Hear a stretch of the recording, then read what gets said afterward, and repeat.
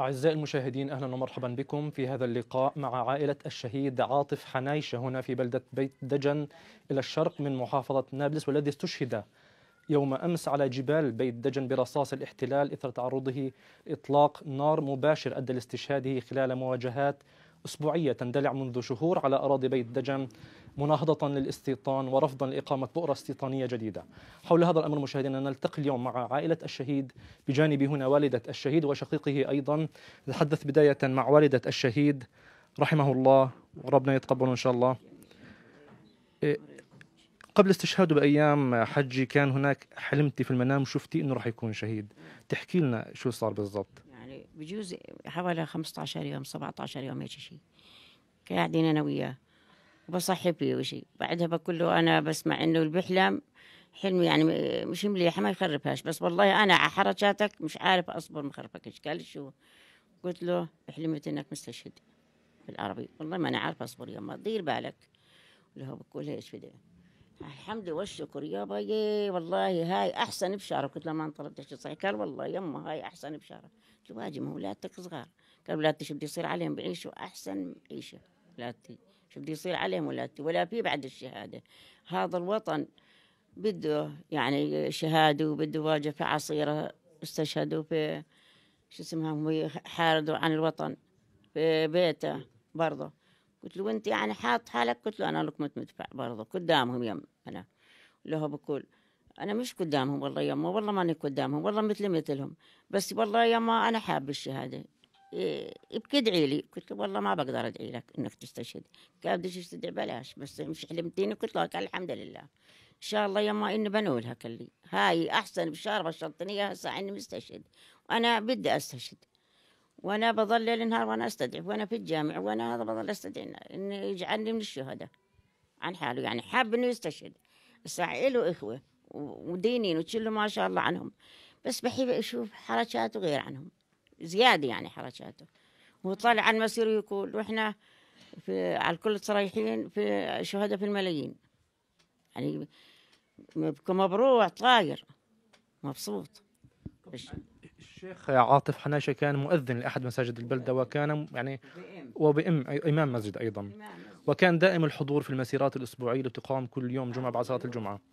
توقعت أنه يجيك بيوم من الأيام نبأ الاستشهاد خصوصا امبارح يعني. امبارح؟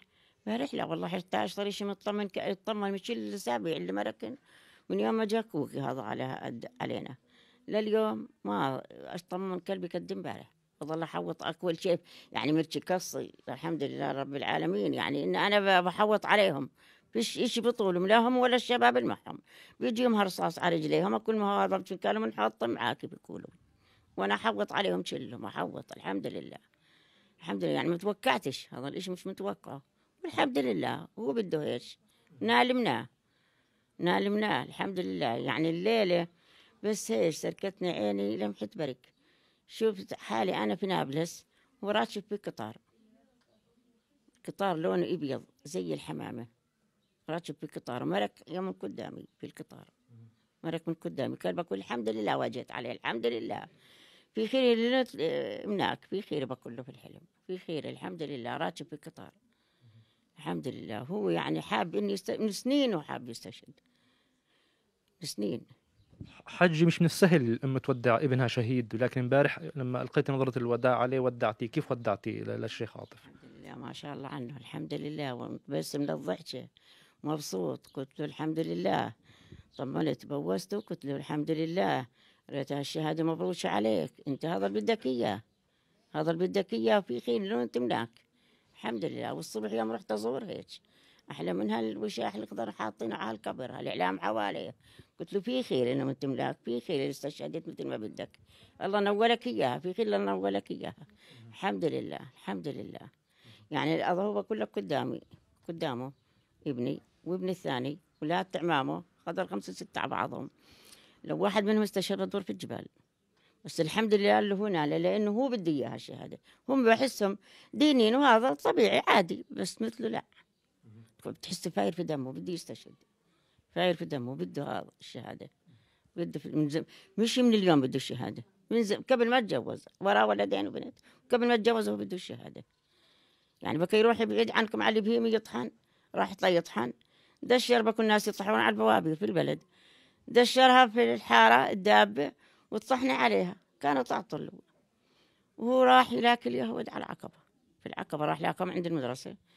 طرحنا جبنا الداب وروحنا وطحنا عليها دشرها بشت وين يطلع على ظهر المدرسة؟ كبالهم كلهم يجي كلها للبلد قال بعدين هذا ما ضبوا بروح بكى في كبال اليهود.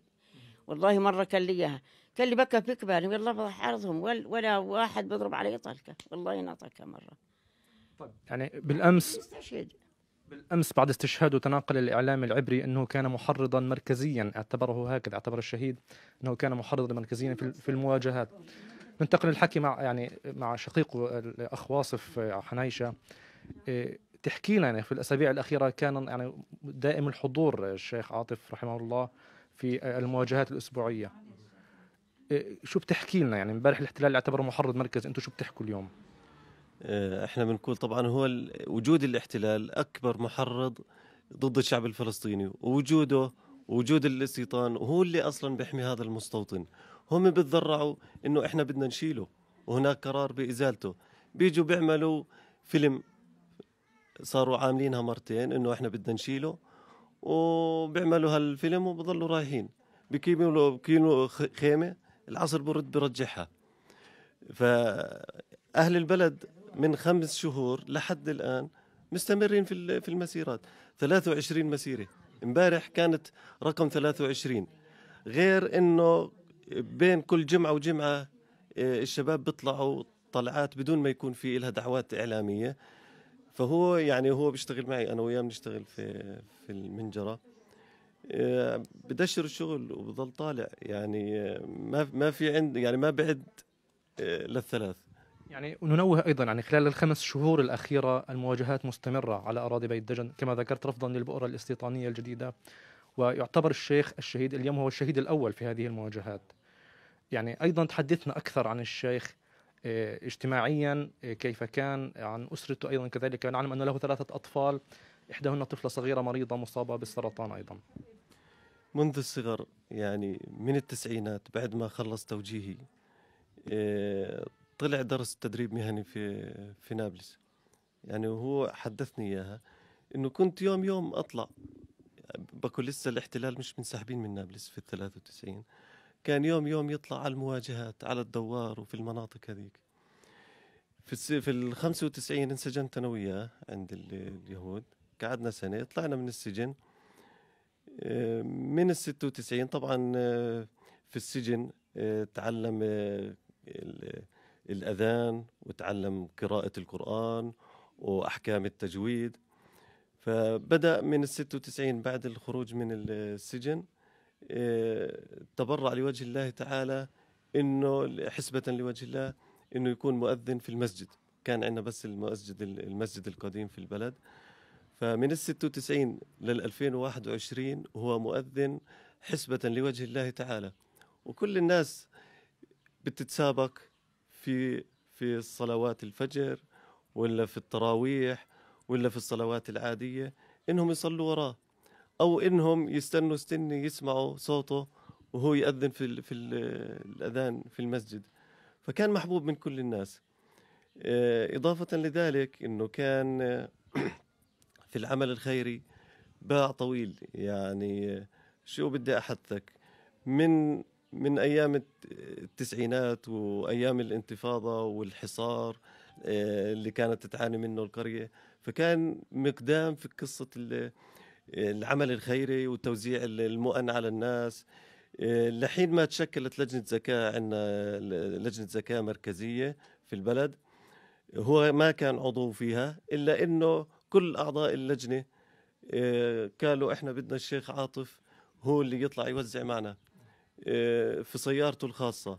حكوا له إحنا بدنا إياك تيجي معنا توزع على أساس الناس بتحبك ومقابل ما إنك أنت بتتعب معنا إحنا بدنا اكلمها فيها نحط لك بنزينات السيارة يعني.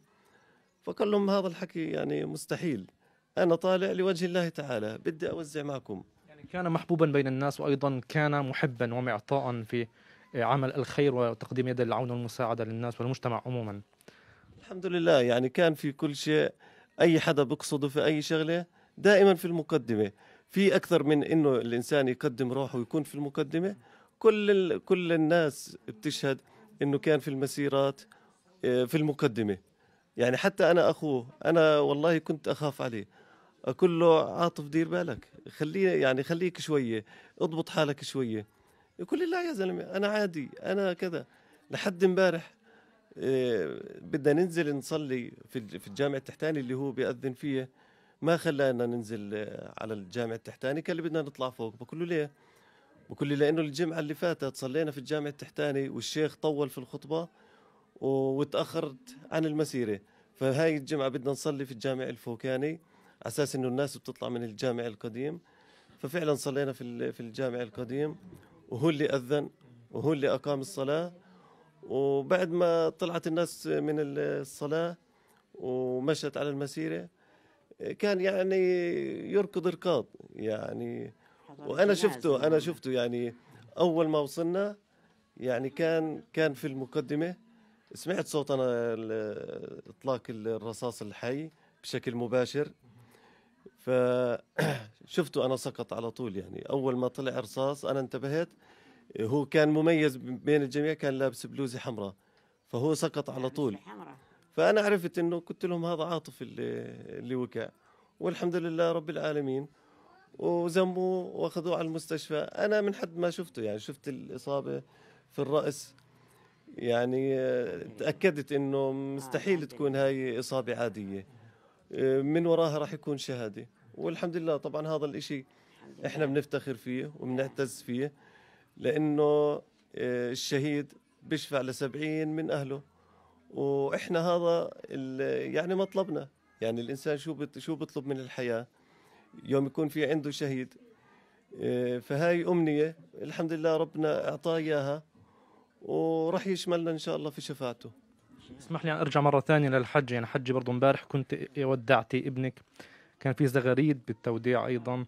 واليوم ما شاء الله يبدو عليك الصبر والاحتساب أيضا يعني يبدو يعني بكل آه، روح صابر يعني. طلب منه طلب منه وهو هيك بدي يعني يستشهد وبدي يستشهد من سنين قلت لك. آه زعقت له.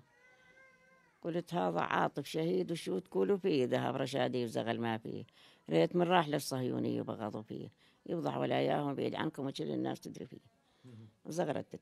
رديت قلت يا ناس صلوا على محمد على فاطمة بنته. ليكم الحمد يا ربي يا شب الشهيد عاطف اللي طلبته نلته لأنه مثل ما طلب الحمد لله نال. الحمد لله. نال مثل ما طلب. الحمد لله. وعلى القبور زغرتت وزعكت. الحمد لله. بس في معلومة طبعا. إضافية كمان بالنسبة لمناقبه. صلاة الفجر يعني من 25 سنة يعني ما قطعها بالمرة إلا إذا كان في عذر. لو كانت الدنيا برد لو كانت الدنيا مهما كان إلا يطلع يصلي الفجر. الليلة بالذات تلفونه ظل معي أخذته أنا. أص... على صلاة الفجر بعد ما أذن معير التلفون مشان يطلع يصلي الفجر. فصحيت أنا على شو اسمه على المنبه التلفون اللي اللي معيره والحمد لله رب العالمين هذا شيء مفخرة. الحمد لله. شكرا جزيلا. شكرا. الحمد لله. طيب شكرا جزيلا لكم وعظم الله أجركم ورحمه الله. اذا مشاهدينا عائلته اليوم تودع الشيخ عاطف حنايشه شهيدا مفتخرة بصنيعه. والاحتلال يعتبره محرضا مركزيا بعد استشهاده حيث كان ناشطا في المواجهات الأخيرة التي ما تزال تندلع في بلدة بيت دجن رفضا لبؤرة استيطانية جديدة أقامها المستوطنون على أراضي القرية. هنا من بيت عزاء الشهيد عاطف حنايشة في منزل عائلته من بيت دجن. نشكر لكم طيب المتابعة.